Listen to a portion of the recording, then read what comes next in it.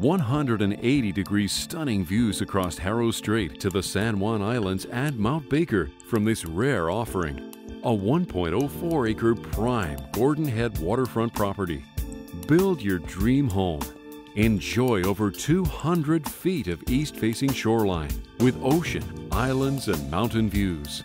The ever changing panorama offers seabirds, marine life, and summer boaters, and the power and beauty of the winter storm located in one of Victoria's most beautiful areas, tucked between Cordova Bay and Cadboro Bay Village.